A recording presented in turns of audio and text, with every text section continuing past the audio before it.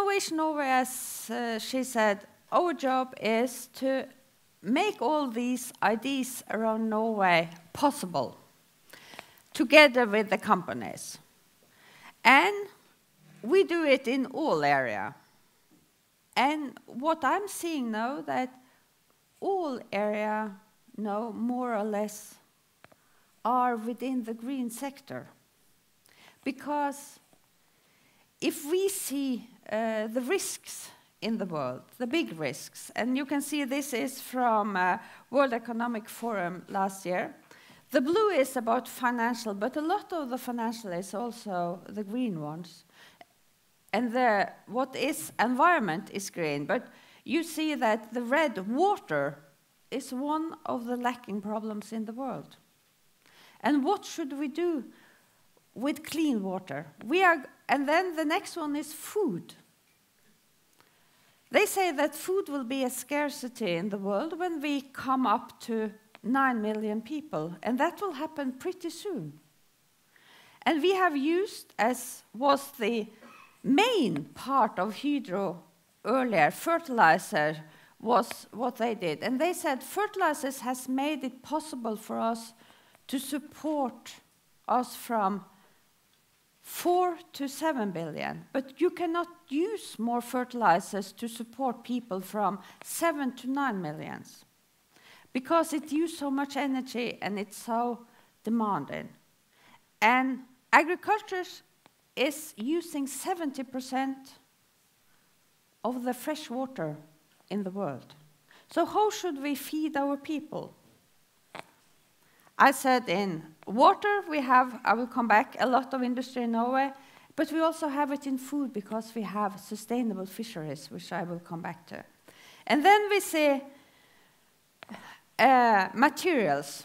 I think what uh, Sven was saying is that we do materials in Norway in a sustainable way as few other. And that is, I think, partly because we are so lucky we have hydro as an energy source compared with others. But we do, we have the resources the world will need. So, and that's the last one is the climate. I was lucky to be in Beijing the day where 150 planes could not go because the air was so polluted. When I left my hotel room, I could eat the air. But that is not Beijing. Most of the big cities in Asia has air that in average is 140, between 135 to 160 ppt per something. I'm an engineer, so I can say per something, even though I'm a female. And when it passes 110, Bergen is stopping, and we say we cannot do anything in Bergen. And they have an average. They don't let the kids go out. And we need to have and come with products that can help these people, because this is going to be the big cities is the biggest part of the growth in the world GDP. And it's good that people are living in cities, but it's also dangerous for the people if we cannot solve the problem. So I mean that Norway has a lot to bring to the table.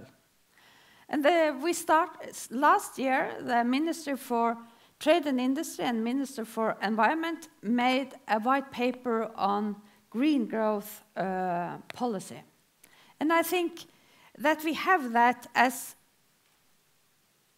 going from we have to do something with the environment to say we have to use the technology to do something with it, to help it being better. And I think working together with the industries is mandatory to solve this problem we see around the world with the climate, with the air, with the water, with the food scarcities, and that is technology.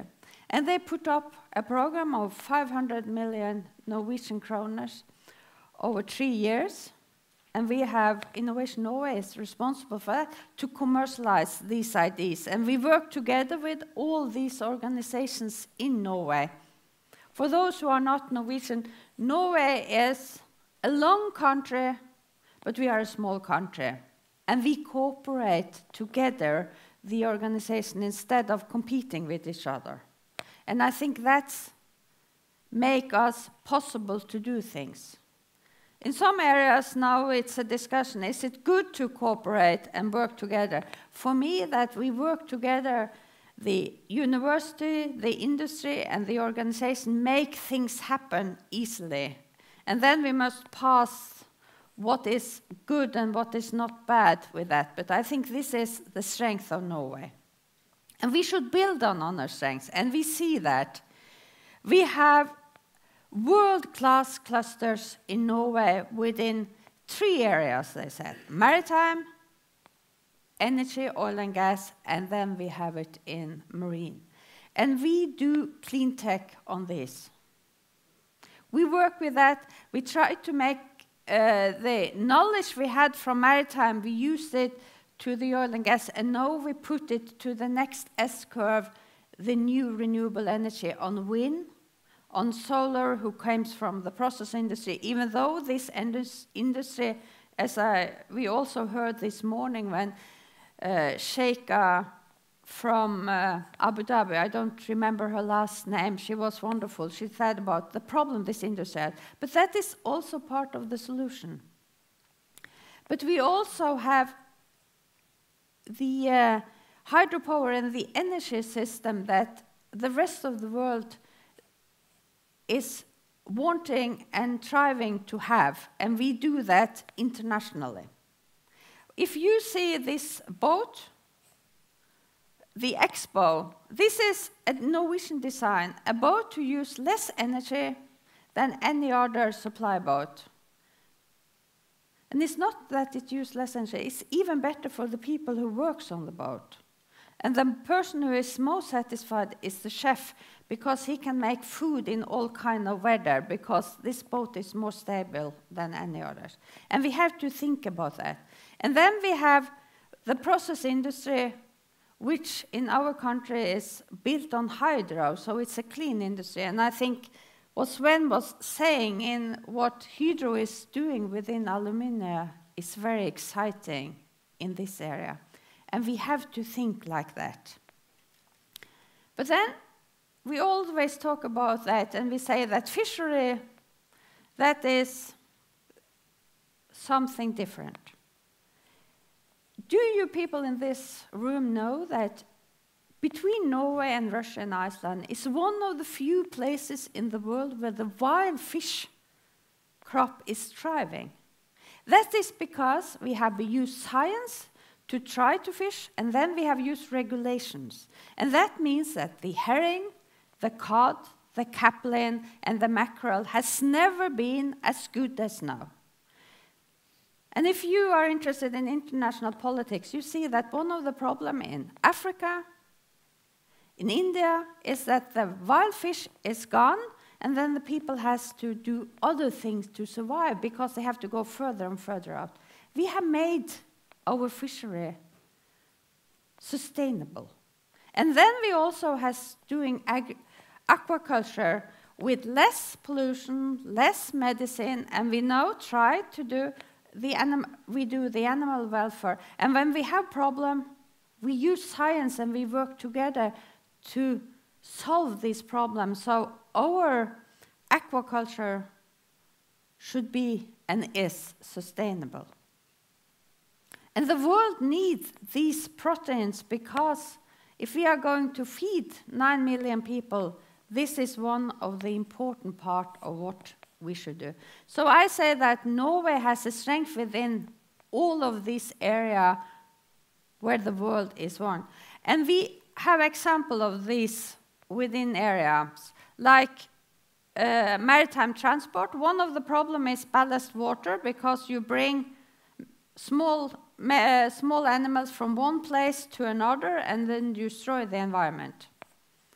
We have two companies that work with that. We have new energy.